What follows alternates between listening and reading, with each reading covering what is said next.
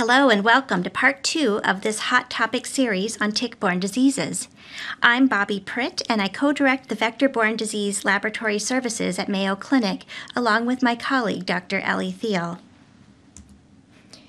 Before I begin, I'd like to say that I have no disclosures to make. Before we discuss our first case, I'd like to introduce the algorithm that I will be subsequently referring to.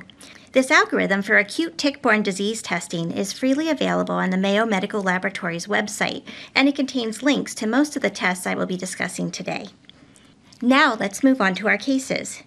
Case number one is a seven year old boy living in Connecticut who presents with several days of fever, fatigue, and body aches. He had been camping with his family at a local state park two weeks prior to presentation, and his mother reports multiple mosquito bites but doesn't recall any tick bites. Also, no rash was noted. If we go to our algorithm, we can determine our next steps. The algorithm starts with the clinical scenario. In this case, a scenario where there is a clinical suspicion of tick-borne disease based on patient characteristics. The boy has an illness during tick season with fever, fatigue, and body aches. He also has a recent environmental exposure to ticks, even though his mother doesn't recall any tick bites. In this situation, the next step is to consider a number of tick-borne pathogens based on its geographic exposure. This map from the Centers for Disease Control and Prevention, or CDC, shows the distribution of key tick-borne diseases reported in 2015. I like this map because it nicely demonstrates where the main clusters of disease are, as well as the overlap of many tick-borne diseases. It also shows how there are a smattering of cases outside of the main clusters of disease. Although our focus will be on the main areas of tick-borne disease, it's important to keep in mind that cases can occur outside of these areas. The next step in our algorithm is to determine if the patient is at risk for Rocky Mountain spotted fever, as shown on the left in the green box, or the other tick-borne diseases shown on the right. Depending on the patient's residence and exposure history, he or she may be at risk for both groups of diseases. In this case, our patient's potential tick exposure is in Connecticut, and he is therefore at risk for Lyme disease, anaplasmosis, babesiosis, and Borrelia miyamotoi disease. We will therefore be following the arm of the algorithm shown in the red box. The next question in the algorithm is whether a classic erythema migrans rash is present. If yes, then no testing is indicated for Lyme disease since the presence of the classic erythema migrans rash is consistent with Lyme disease. Thus, presumptive therapy for Lyme is indicated. If the answer is no, as it is with this patient, then one or more of the tests listed should be considered. Also, therapy for anaplasmosis should be considered while waiting for the test results since this disease can be potentially fatal. In this case, the Lyme disease serology was ordered to further evaluate for Lyme disease, and because the patient had systemic symptoms, a PCR panel for tick-borne pathogens was also ordered. The Lyme disease serology was performed and was negative.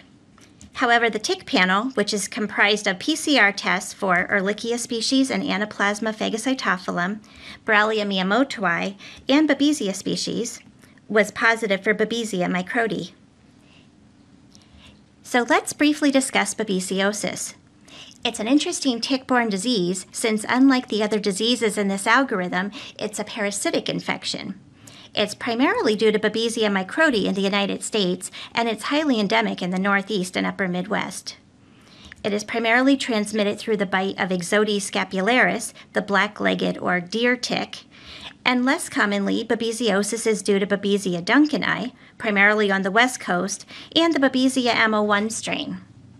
Babesia duncani is transmitted through the bite of Ixodes pacificus, the western black-legged tick, whereas Babesia MO1 is possibly transmitted by Amblyomma americanum, the lone star tick. Babesia divergens is another important pathogen and is the most common cause of babesiosis in Europe and Asia. Of note, all of the species listed on this slide can be detected by the Mayo Clinic PCR test, which is particularly helpful for patients who have traveled throughout the United States or overseas. Babesiosis is often asymptomatic or causes only mild disease. However, elderly, immunocompromised, and asplenic patients are at risk for severe disease. Treatment is with a combination of agents. The standard therapy for most patients is atovaquone plus azithromycin, whereas clindamycin plus quinine is usually reserved for severely ill patients. Babesiosis is traditionally diagnosed using microscopic examination of thick and thin blood films. This method also allows for calculation of percent parasitemia, which is important for guiding therapy and determining the patient's prognosis.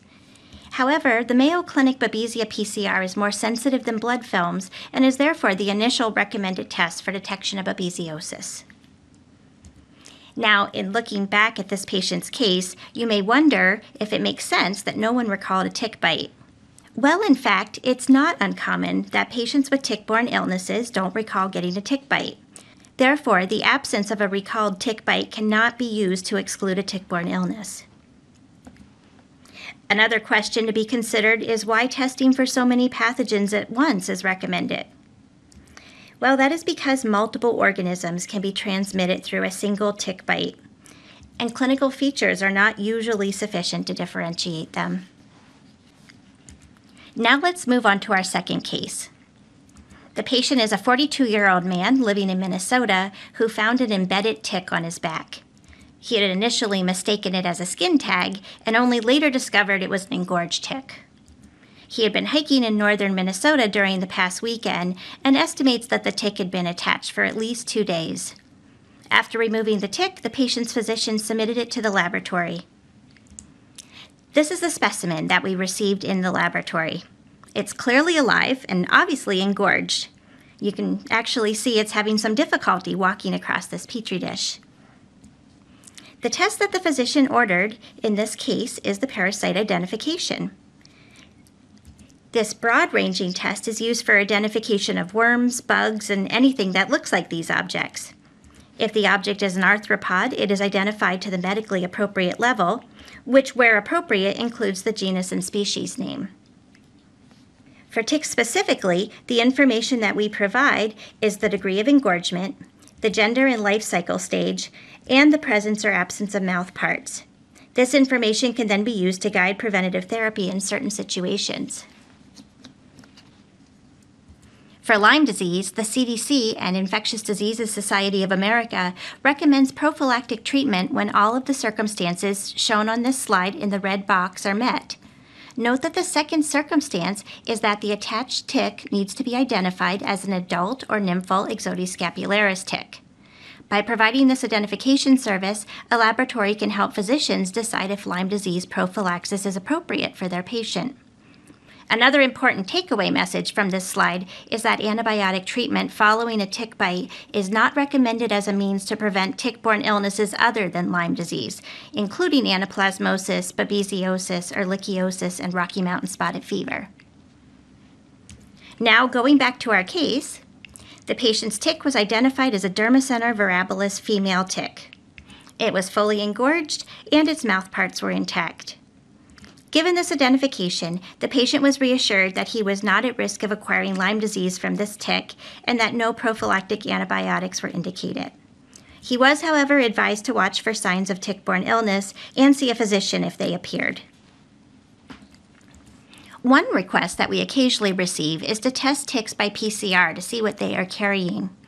However, this is not a test we offer through Mayo Medical Laboratories. Why is this? Well, it's because finding a tick on your body does not mean that it bit you or transmitted a pathogen. Instead, the identification, gender, and degree of engorgement of the tick are better indicators for risk of disease, and those are all aspects of the identification that we provide. So, in summary, there are multiple tick borne diseases, many of which are clinically indistinguishable, and the preferred test varies by the time that the patient presents in the course of illness. Therefore, an algorithmic approach is useful for optimizing laboratory testing, ensuring that all the necessary tests are ordered without performing unneeded tests. Thank you for joining me today in the second part of our Hot Topic series on tick-borne diseases.